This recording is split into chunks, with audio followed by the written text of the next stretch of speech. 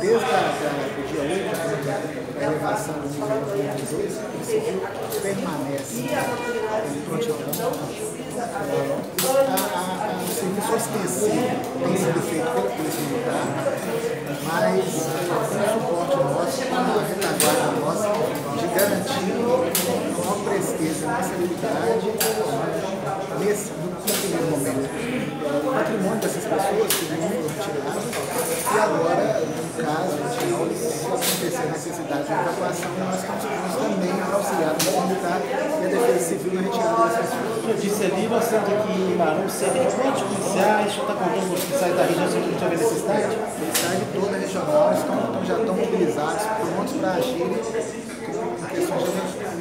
Se houver necessidade, já está no plantão. Todos, todos estão. Ok, obrigado, doutor Paulo. Bom trabalho do senhor aí. E a gente volta daqui a pouquinho ao vivo, hein? Vamos lá, a gente continua aqui com vocês.